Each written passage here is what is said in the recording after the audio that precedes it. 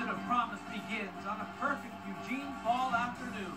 The Ducks opening the season against the Nevada Wolfpack. Going into the season, many questions about the Duck defense, and they start to answer those questions by scoring the first points of the season.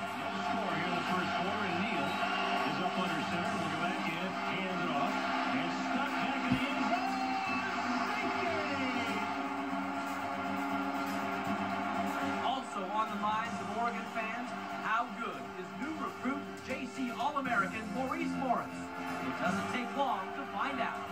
Here's two receivers right. Joey will pitch it to Morris. Going to the right. Leaves a block outside. Gets it. Turns the corner. 50. He's in the space.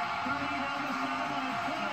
10. 5. Touchdown. Maurice Morris. He's got the speed. The Ducks go to halftime with a 15-7 lead and pull away from the Wolfpack in the second half. Joey Harrington goes across for his first score of the year. Joey under center. Keeps it. Dives over the top to a touchdown.